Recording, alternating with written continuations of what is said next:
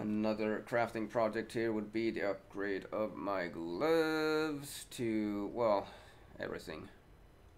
So the base that I want is the apothecary gloves, and the problem is I don't know, I know what I want, but I don't know what I need. I think I will be forced to have dexterity on my gloves. Uh, and I would love to have chaos res on the gloves. As for the last suffix, I don't know. So, might as well go for like a resist. Ideally, I would probably want life recovery, but yeah.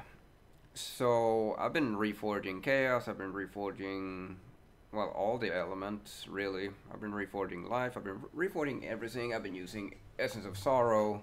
I have nothing to work with. But in a map previously, these gloves drop, which has tier 1 Dex uh, with the Temple mod. So I'm hoping we can recombo. Uh, so I'm hoping, I, I hope I keep this base, because this base is bad. Well, it's worse. Uh, hoping I keep this base. I'm hoping I keep the fire and dex. Um, so I hope it takes the fire and dex from here, and then I hope I keep the chaos res and the base over here. Um, now we do have way too many suffixes, so I'm gonna like try and annul int, hopefully.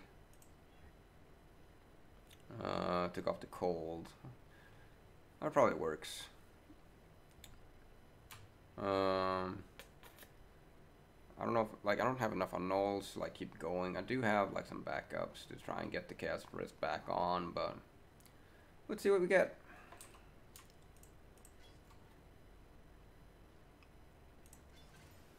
Ah, we lost the base. Got the Chaos, got the Dex, got the Fire. So...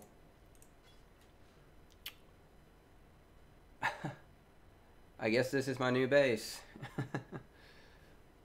well, nice.